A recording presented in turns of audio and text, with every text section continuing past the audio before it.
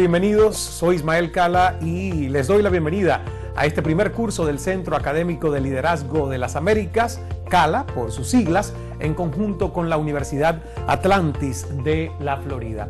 Y vamos a comenzar nuestra clase. Es un placer para mí ser parte de este recorrido que nos llevará por el camino de la conexión entre la razón y la emoción. ¿Sabías que cada una de las decisiones que tomamos en la vida está condicionada por una emoción? La conexión entre razón y emoción es más decisiva de lo que nos planteamos. Los sentimientos en muchas ocasiones son los que se encargan de tomar las medidas necesarias ante una situación tanto personal como profesional. Y precisamente por ello, un líder tiene que ser capaz de dominarlas con inteligencia, en este caso, inteligencia emocional. Fíjense ustedes que desde niños hemos aprendido la importancia del coeficiente intelectual. Sin embargo, Pocos son los que conocen a fondo qué significa el término inteligencia emocional. Porque la verdad que crecemos y en las escuelas, tanto en la primaria, luego secundaria, preuniversitario y hasta en la educación superior, no nos ilustran, no nos alfabetizan para tener una inteligencia emocional. Sí nos dan muchos conocimientos, geografía, química, asignaturas de todo tipo, las matemáticas, nos sirven, conocimiento útil. Sin embargo, yo digo que el GPS, que debería ser el enrollado principal para manejar todo ese conocimiento, es cómo identificar y luego gerenciar nuestras emociones. Un dato curioso, teniendo en cuenta los últimos estudios que determinan que el éxito profesional depende en un 80% de la inteligencia emocional y tan solo un 20% del coeficiente intelectual. Hay una gran diferencia entre ser inteligente y ser listo. El primero, bueno, el primero, el inteligente es el que obtiene las mejores calificaciones en sus estudios. El segundo es el que sabe poner en práctica las habilidades que tiene para crecer en su entorno. ¿Te consideras un ser inteligente o listo o lista? Es una buena pregunta. En muchas ocasiones la teoría te ayuda a entender un problema, pero no a solucionarlo. Por ejemplo, la creatividad, que por cierto, ahora les tengo que decir algo que recientemente leí y es un estudio científico de cómo a través de la creatividad es que nosotros como profesionales, hagamos lo que hagamos, vamos a evitar que nuestros trabajos o nuestro talento sea llevado a cualquier otro lugar del mundo por el tema de la globalización o sea automatizado. Lo que quiero decir es que este curso de inteligencia emocional puede abrir la puerta para un futuro mucho más prometedor que el presente que hoy tienes en tu oficio o profesión. Yo estaba diciendo que la creatividad está ligada al sentimiento, no necesariamente al pensamiento, o la lealtad unida a las emociones, ya que el pensamiento puede cambiar mientras que el sentimiento se mantiene fiel a su origen. Las emociones negativas, que además son la mayoría de las emociones que vivimos los seres humanos, son las que más nos frecuentan en nuestra vida cotidiana y pueden bloquear nuestra atención, mientras que las positivas favorecen la concentración. Es más, hasta mejoran el humor, haciendo que nos interese casi todo lo que nos rodea. Del mismo modo, se trata de una gran herramienta para la comunicación, ya que las emociones se reflejan en los gestos, como ahora, mi manera de hablarles a ustedes, también en nuestro tono de voz, también puede afectar en la satisfacción o para adoptar un acuerdo. Con esto no queremos decir que no sea necesario adquirir conocimientos para la vida profesional. Por supuesto que tener conocimientos siempre nos va a ser útil, pero estos conocimientos tienen que estar combinados con una muy buena gerencia o estrategia emocional, porque la vida no es solo teoría. Hay que aprender a observar, observar con todos nuestros sentidos, analizar y entender emociones y sentimientos. Como dice uno de mis mentores, John C. Maxwell, saben ustedes, compartimos una conferencia juntos hace dos años en Valencia, Venezuela, Cumbre del Éxito, y luego el año pasado eh, recibimos el premio de liderazgo, la primera entrega que hacía el equipo de John C. Maxwell y ganamos el premio en liderazgo en medios de comunicación. Bueno, John Maxwell dice, el verdadero liderazgo siempre comienza en el interior de la persona.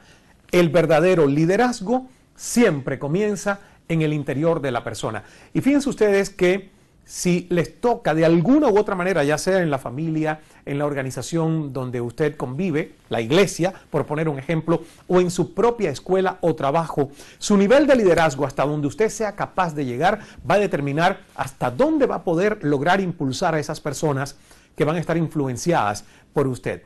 Y esto sucede en todas las organizaciones de colectivos en nuestras vidas. Las emociones nos ayudan a conocernos mejor. Ejercen una gran influencia en la percepción que nosotros tenemos del mundo, en la manera de pensar y hasta en las memorias, cómo las guardamos y qué significado le damos a los eventos que ya pasaron por nuestra vida, que al final es la historia de contar nuestra propia historia de vida, lo que llaman en inglés el storytelling. Bueno, de acuerdo a las emociones que nosotros hemos añadido a esos eventos, así va a ser nuestra narrativa o el storytelling de nuestra vida. Por ejemplo, si nuestros sentimientos se acercan más a sentimientos de felicidad, todo nos resulta mucho más agradable y, digamos, disfrutamos mucho más todo lo que nos sucede en el día. Ahora, si nuestros sentimientos van más a los negativos, a los tóxicos, bueno, eso crea tristeza, crea hasta fatiga emocional, porque las emociones representan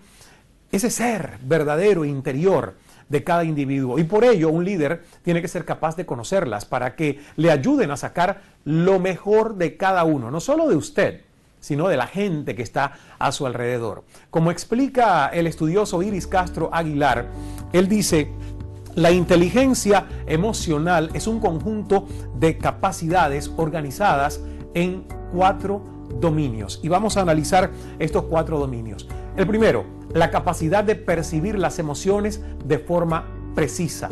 Segundo, la capacidad de aplicar las emociones para facilitar el pensamiento y el razonamiento. Tercero, la capacidad para comprender las emociones.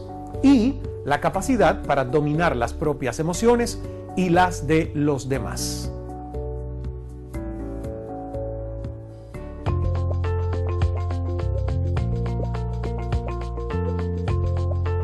El término inteligencia emocional surgió en los años 90 tras el desconcierto ante el tratamiento exclusivamente cognitivo de la inteligencia. El mensaje se hizo rápidamente popular se puede tener éxito sin grandes habilidades académicas. Y si no, haga usted un ejercicio, mire alrededor, sin comparación, sin propiciar una emoción negativa justamente que es la envidia y no queremos tenerla cerca, pero trate con objetividad de pensar quién a su alrededor a lo mejor no ha tenido un conocimiento o una instrucción formal académica tan alta como la suya y sin embargo le ha ido espectacularmente bien en la vida. Bueno, esas son las llamadas habilidades blandas o soft skills, que son entre ellas la comunicación, la empatía y todas estas habilidades que tienen que ver con lo que se llama coeficiente emocional, no con el coeficiente intelectual. Sin embargo, el origen del término de inteligencia emocional se remonta a 1920, cuando Edward Thorndike planteó el concepto de inteligencia social definiéndola como la habilidad para comprender y dirigir a los hombres y mujeres, muchachas y muchachos y actuar sabiamente en las relaciones humanas.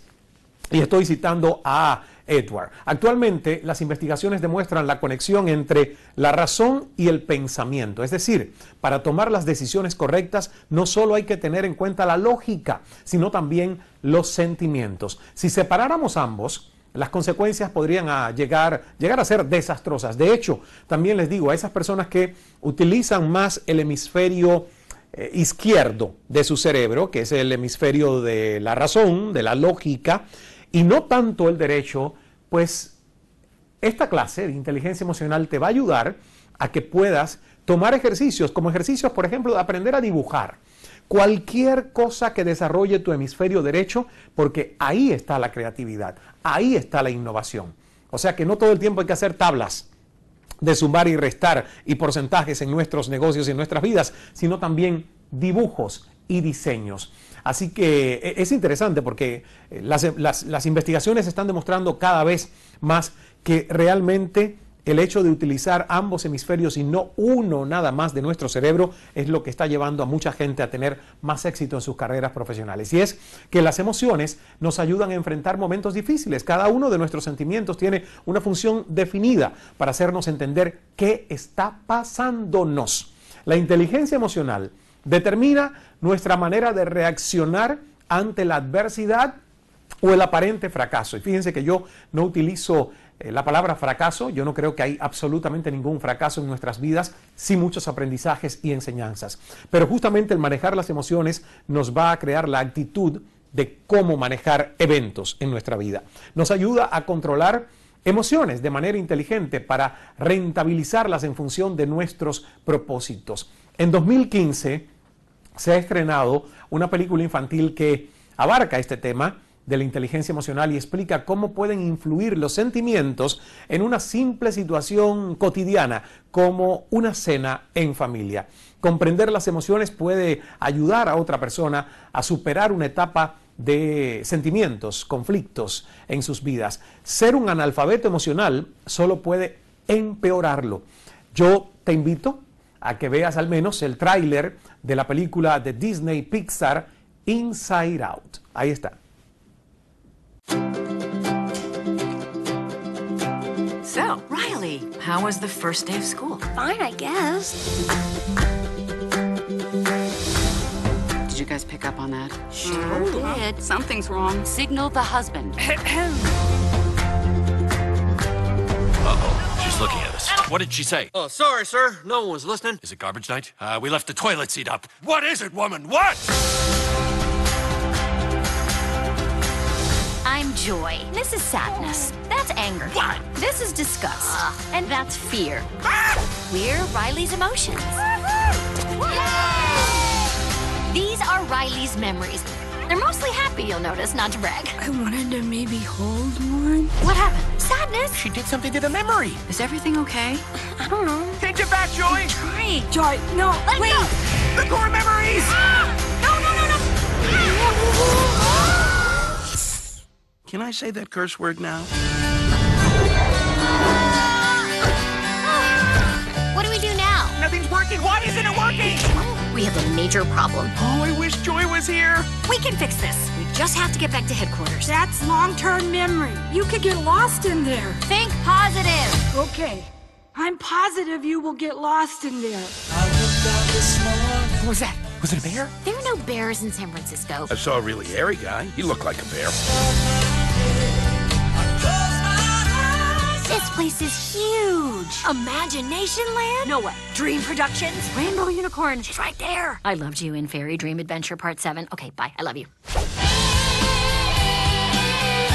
You can't focus on what's going wrong. There's always a way to turn things around.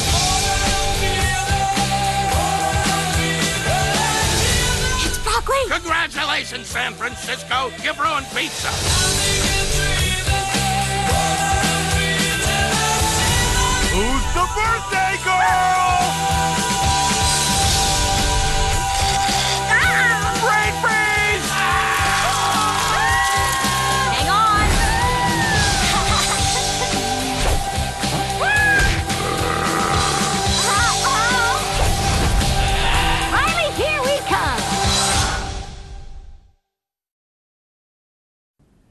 Divertidísima película, si no la han visto completa, bueno, pues ya ahí tienen la invitación, se lo dejo como asignación, como tarea pendiente de esta primera clase. Eh, ingenioso el modelo y la manera en que estos realizadores de Disney y Pixar eh, han abordado el tema de la inteligencia emocional, cómo identificar y gerenciar emociones, comenzando a crear esta conciencia de los niños. Porque la verdad yo digo, ¿para qué llegar a un adulto? A edad adulta siendo un analfabeto emocional. Si alguien desde nuestra infancia pudo haber hecho un mejor trabajo tratando de hacernos identificar nuestras emociones y poder jugar con ellas. Las emociones se activan cuando el organismo prevé un desequilibrio positivo o negativo, por lo que pone en marcha medios para volver a controlar la situación. Nos proporcionan la energía para enfrentarnos a un reto o resolver un problema. Nos impulsan a escalar y alcanzar nuestros deseos o necesidades.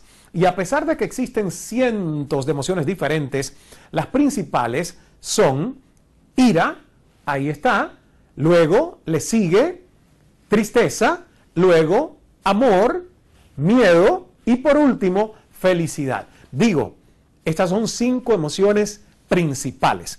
Hay cientos, miles de palabras en otros idiomas. Por ejemplo, en el inglés hay aproximadamente unas 6.000 palabras para identificar emociones. Te propongo un ejercicio, así que toma bolígrafo y papel. No sé si ya lo tienes, me imagino que sí, porque estamos en una clase.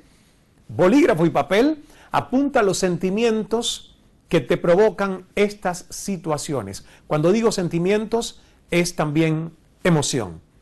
Por ejemplo, recuerda tu primer beso. Si tienes hijos, la primera carcajada de felicidad que le escuchaste. El sentimiento que te nace el primer día de vacaciones. En el otro extremo, la muerte de un familiar o de un amigo. El robo a unos ancianos indefensos.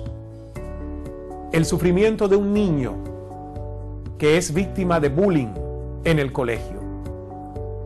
Tómate unos minutos para analizarlos, comprenderlos y pensar qué harías ante esta situación. Cuando termines, sin prisa, continuaremos con la segunda parte de la sesión en el siguiente video. Ahora es tu turno de trabajar.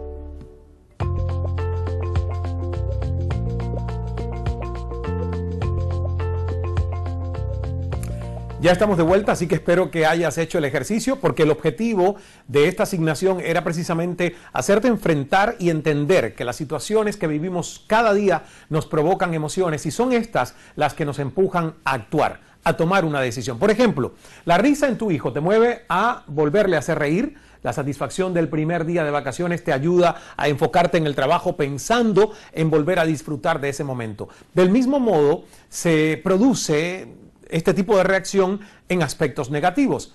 El fallecimiento de un familiar te hace recordar los maravillosos momentos que pasaste con él o ella y te aviva aprovechar el tiempo con la gente que te rodea. O la injusticia que sufre el pequeño en el colegio, eh, que sufre de bullying, te da fuerza para ser más justo, más justa en tu vida. O sea que cada, cada emoción justamente está compensada con una situación y con una actitud que nosotros recreamos ante cada uno de estos eventos y qué asignación le damos emocionalmente hablando. Estar conscientes de lo que está pasando requiere interpretar correctamente nuestras emociones. ¿Qué podría pasar si no las comprendiéramos? Caeríamos en una depresión ante la negatividad, lo tóxico que nos lanza el mundo. Porque si ustedes se fijan y ponen los medios de comunicación, los titulares un 99.9% son titulares totalmente negativos, de cosas que pasan que lamentablemente no son positivas. Voy a hablar del mayor experto en inteligencia emocional en el mundo, Daniel Goldman o Daniel Goldman. Él señala cinco aptitudes con P, cinco aptitudes emocionales divididas en dos categorías. Por ejemplo, aptitud personal, autoconocimiento, autorregulación y motivación. Aptitud social.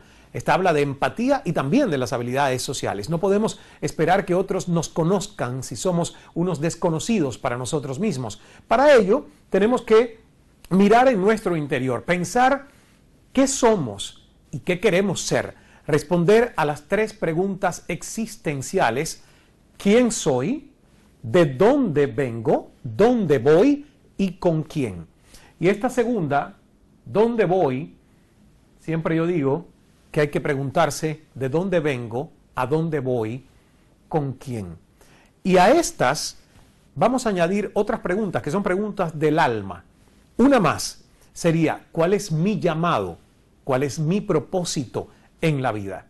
Y si quieres una pregunta más, te diría que todo esto tiene que estar cimentado en un estudio de nuestra vida desde la gratitud porque cuando el cimiento es la gratitud, nosotros podemos constantemente aspirar a ser la mejor versión de nosotros en búsqueda de la excelencia, no de la ambición por lo que no tenemos. Y yo creo que es interesante que podamos poner esto en una balanza, porque mucha gente trata de ser emocionalmente más elevado, pero pone sus emociones fuera, no dentro de su ser. Sin ser capaces de responder a estas preguntas, no podremos reconocer nuestros actos y hacernos totalmente responsables por ellos. ¿Cuál es el límite? El límite mucha gente dice que es el cielo. Yo siempre digo, no, el límite no es el cielo, el límite está dentro. Por lo tanto, es hacia adentro donde nosotros tenemos que mirar y estudiar para entender el proceso de alfabetizarnos emocionalmente. De esta forma, vamos a actuar ante las diferentes situaciones con más justicia, con más eficiencia, eficacia. Como dijo Gandhi, sé el cambio que quieres ver en el mundo. Sé el cambio que quieres ver en el mundo. Si tú no trabajas para cambiar, no podrás mejorar tampoco lo que te rodea.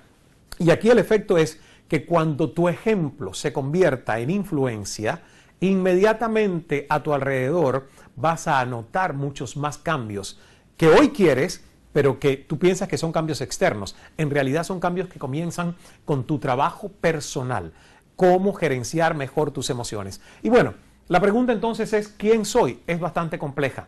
Yo te recomiendo leer El Poder de Escuchar, que es el, libro básico recomendado para este curso, donde hice un ejercicio y ese ejercicio lo hice porque con el lector, y en este caso con ustedes, nuestros estudiantes, quiero compartirlo. Y es analizar tu historia de vida y qué llevas recitándote todo el tiempo en tu cabeza y qué puedes reprogramar en cuanto a emociones de esos eventos que nos pasaron hace 15, 20 o 30 años.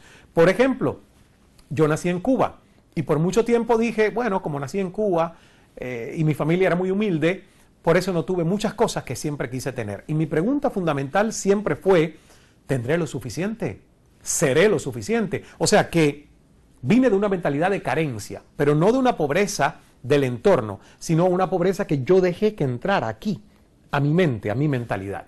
¿Cómo entonces conocernos mejor? Bueno, analizando nuestras fortalezas, nuestras oportunidades, nuestras debilidades y nuestras amenazas. Hay un análisis que fue creado a principios de los 60 en pleno auge de las estrategias empresariales y de esta manera somos capaces de ver la situación en la que nos encontramos nosotros, un proyecto o incluso nuestra empresa. A partir de ahí proponemos una estrategia de futuro.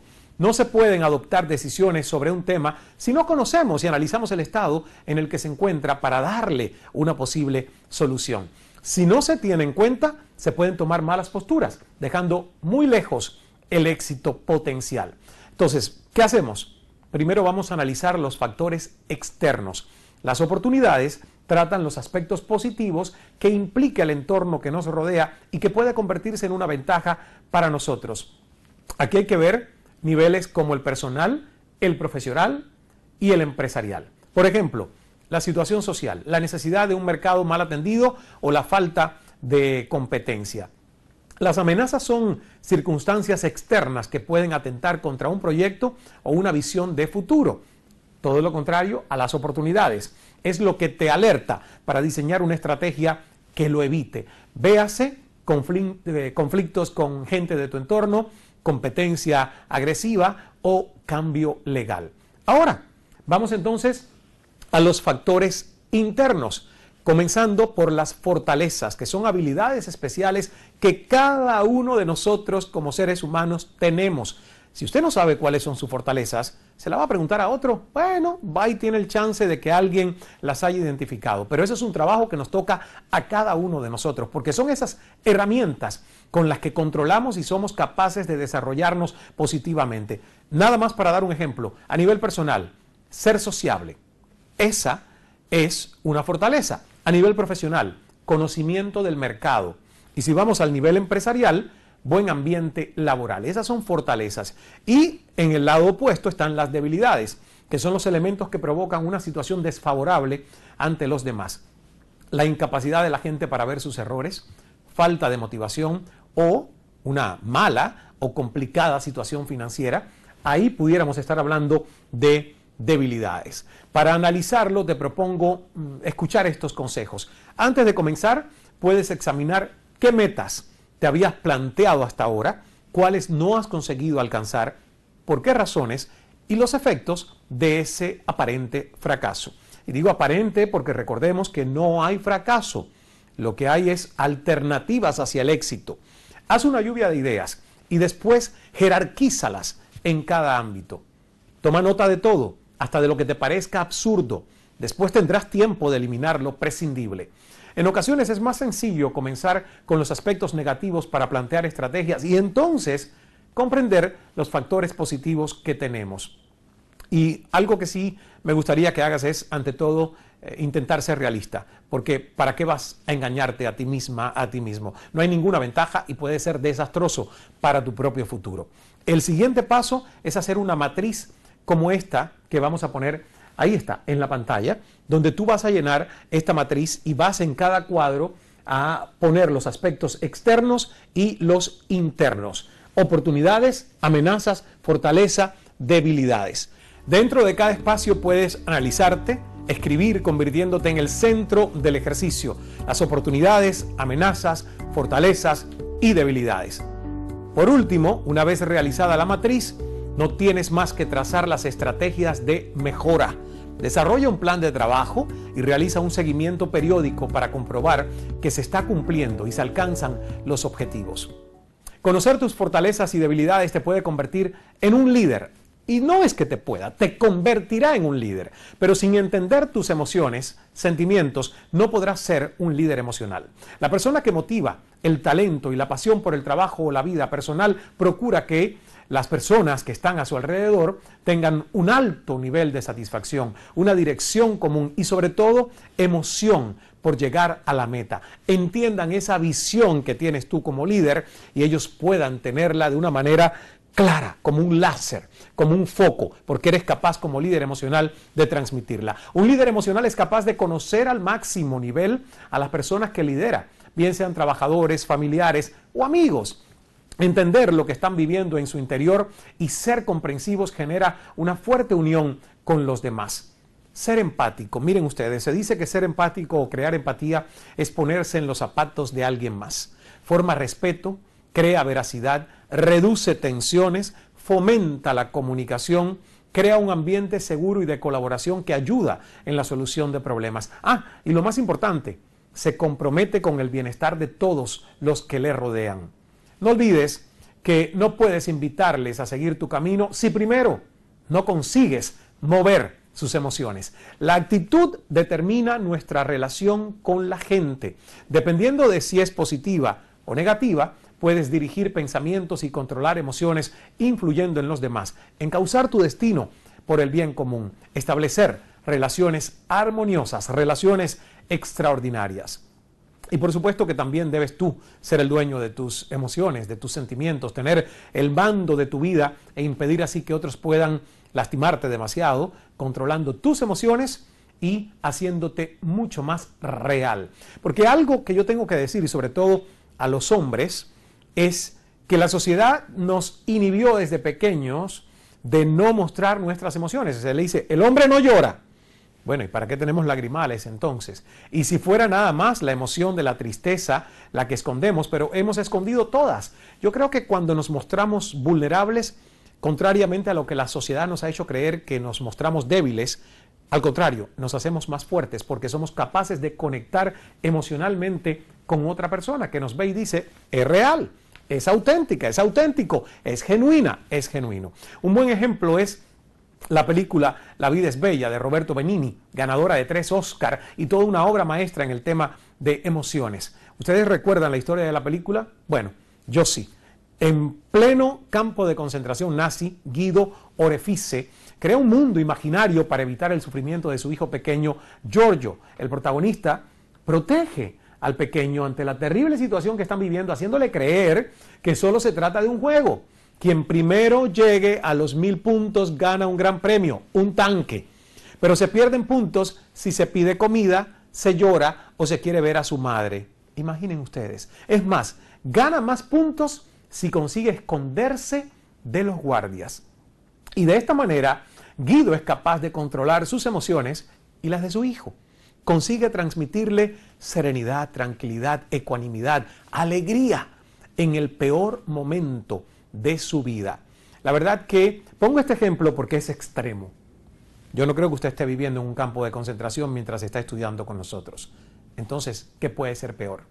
Es beneficioso fomentar la inteligencia emocional en pleno desarrollo infantil para evitar que años después, como yo decía, tengamos dificultades para reconocer o expresar nuestras emociones, las propias y sobre todo entender las emociones ajenas, las emociones de los demás, porque si ya es suficiente rollo entender nuestras propias emociones, es el trabajo de un psíquico ilustrado e iluminado, el poder entender las emociones de alguien más. Pero con inteligencia emocional cada vez el proceso se hace mucho más fácil con la práctica. No hay un abracadabra, hay que estudiar como cualquier otra asignatura en la que queremos tener una maestría de vida. Incluso esto influye en la propia autoestima, ya que nosotros evitamos el pensamiento negativo cuando identificamos nuestras emociones y somos capaces de motivarnos y de motivar a nuestros niños. Ahora, ¿cómo podemos aprender a manejar las emociones? Aquí voy con varios consejos. No están escritos en piedra, pero por lo menos es una guía para comenzar. Trata de no pensar en negativo. Intenta recordar tus éxitos. Poner la mente en positivo abre el horizonte. Hay una frase que a mí me gusta que dice justamente que todos vivimos bajo el mismo cielo, pero cada quien crea su propio horizonte. Ponte a pensar en eso. Es verdad. El horizonte es donde tú quieres llegar, hasta donde quieres establecer tu propia visión, tu propio umbral de merecimiento. Segundo, si tienes un problema, enfócate en él con paciencia, míralo desde todas las perspectivas, sin caer desde el principio en la desesperación. La respuesta siempre está en tu interior, tienes que encontrarla y bueno, si hace falta buscar una resolución, busquemos también la ayuda de algún buen amigo o algún experto en el área donde estamos atorados o tenemos un problema. Escribe un diario. Hay mucha gente que dice, no, yo no voy a escribir un diario. ¿Saben qué? Lo que se deja acá, efectivamente hay palabras que el viento se las puede llevar, pero cuando usted escribe y de su puño y letra está poniendo algo por escrito, está haciendo un testamento.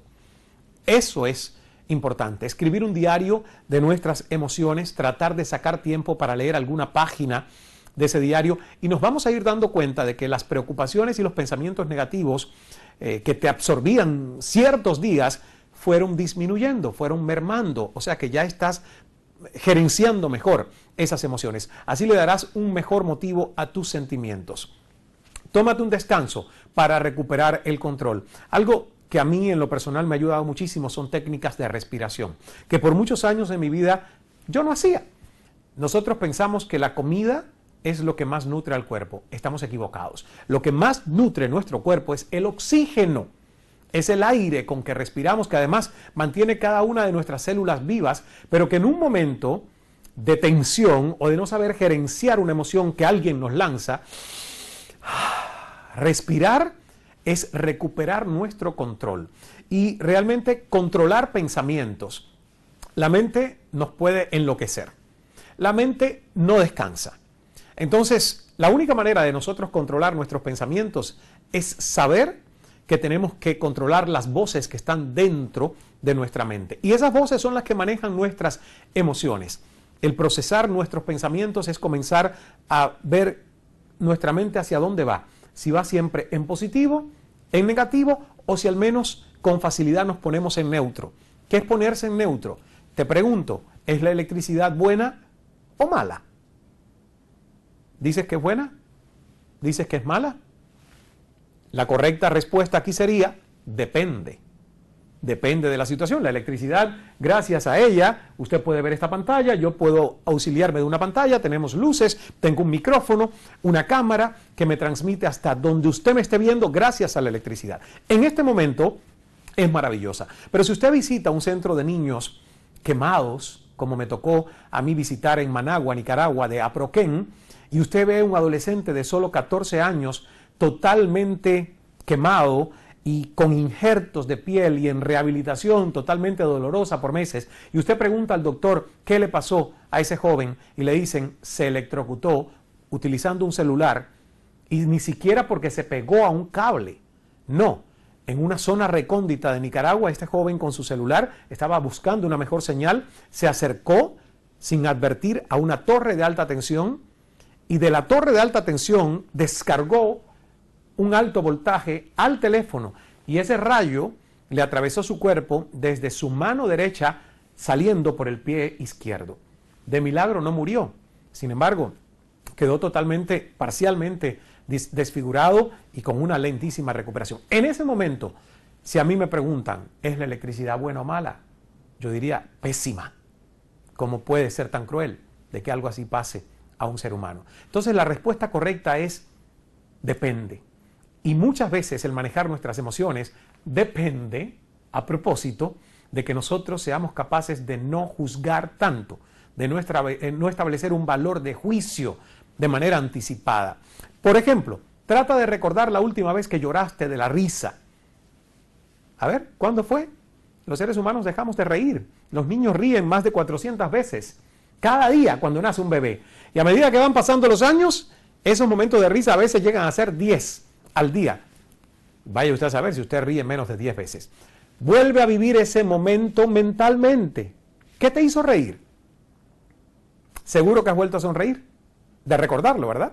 En cambio, piensa en tu último enfado, en esa situación que te hizo estresarte tanto, en la persona que aparentemente provocó ese desequilibrio interior tuyo. Y digo aparentemente porque solo un analfabeto emocional permite o cede el poder de un desequilibrio interior a alguna otra persona. ¿Qué te hizo molestarte? ¿Tu sentimiento ha cambiado totalmente? Posiblemente estás volviendo a enfadarte en este momento. Tus emociones cambian con tu pensamiento. ¿Por qué no apoyarnos entonces en él? Lo que pensamos genera una emoción. Por eso es tan importante controlar nuestra manera de pensar. Y precisamente trataremos este tema, la capacidad de gestionar debidamente las emociones, en la próxima sesión. No te dejes dominar por tus emociones, tienes un camino lleno de éxitos esperando a que tomes las riendas de tu vida. Gracias por vernos, soy Ismael Cala y te invito a que me acompañes en la próxima sesión para juntos encontrar la conexión entre razón y emoción, caminando juntos hacia el éxito, el bienestar y la excelencia.